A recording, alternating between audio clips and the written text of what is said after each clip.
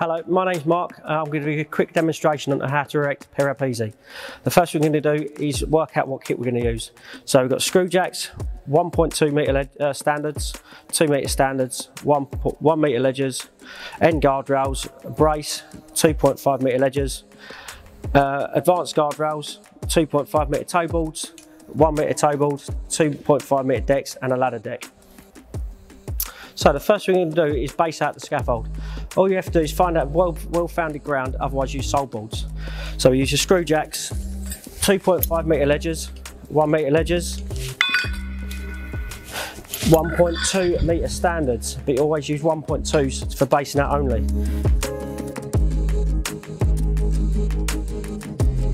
Connect the ledgers to the rosette to the bottom for the kicker lift.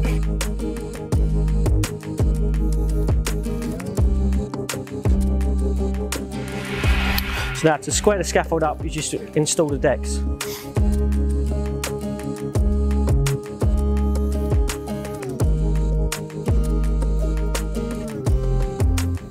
So next what we're going to do is level in, banging in all the gravity lock pins as we go around.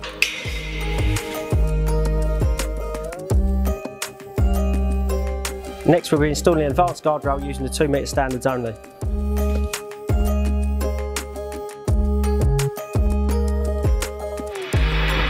We're now installing the end guardrails, again using the 2 metre standards.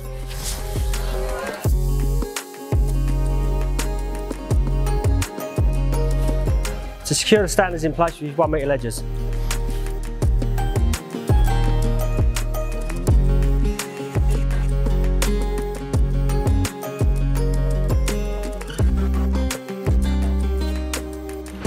We now install the brace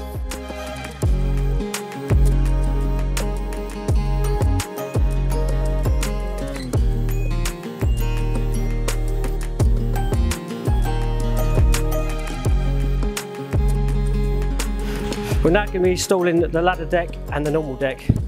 The ledger's not leaded because these act as ledgers.